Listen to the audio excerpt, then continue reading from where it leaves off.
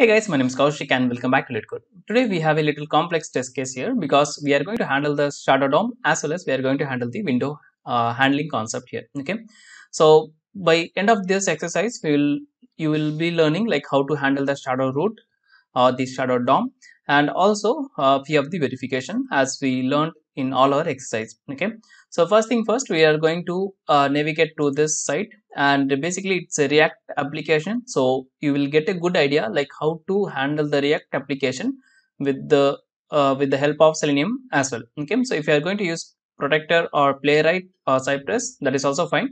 But i believe most of you are using the selenium. So in that case of course definitely you will get a good knowledge on how to handle the react application okay okay let's get started now. So first thing first we'll go to this website.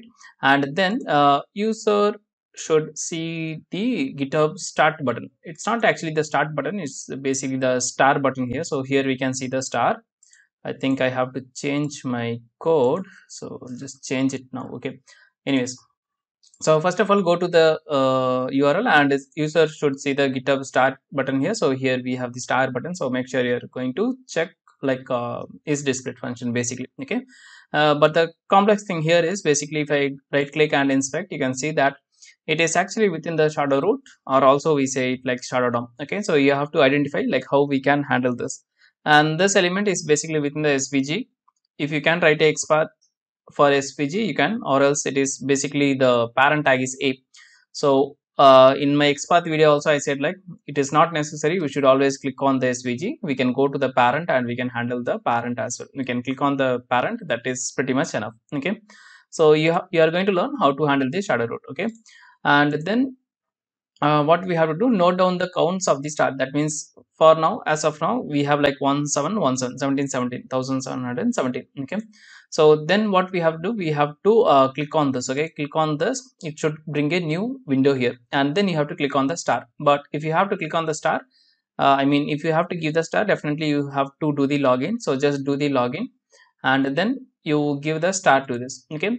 Now that's it. Pretty much over for this uh, tab. So close the active tab. So here you can see close the active tab. And then you have to make sure that the uh, count is get increased. The number of stars should increase okay? But it is not increased because we didn't refresh. So we done changes in that site that should be reflected here. So we are going to do the refresh. And here you can say like see like it's like 1718 okay so if simultaneously other people also other people also doing means of course the number will vary.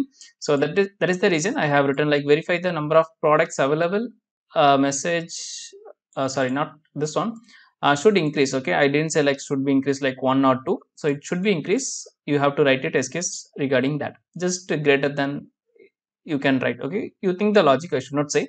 So you have to think the logic and you have to write your test script in that case okay next uh, verify the number of products available. Message okay. So what here is here you can see that we have like 16 products fonts right? So this is the message. We are getting like how many products available in this page.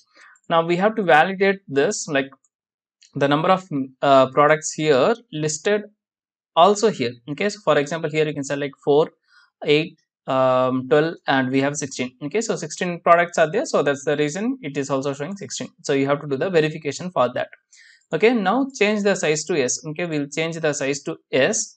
And then we are going to do, repeat the step number 10 that is verify number of products. So here you can see we have two products and here also we have two products. Okay.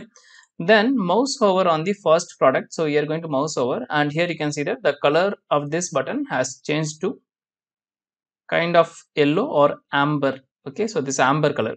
So here we can select um, yellow button or something. Any anyways okay then you have to do the verification and click on the add to cart. Okay once you click on this uh, last step is very simple. Just click on the uh, click the checkout and accept the alert. So once we click on this checkout button we'll get something like alert and you can just click on ok that's it. Very simple but at the same time a uh, few things you can learn from this. That is the reason i have given. You might um, ask me like Koushik it's very simple. Give us something complicated first be clear with the simple then probably you can learn the complicated stuff. And here also com complicated.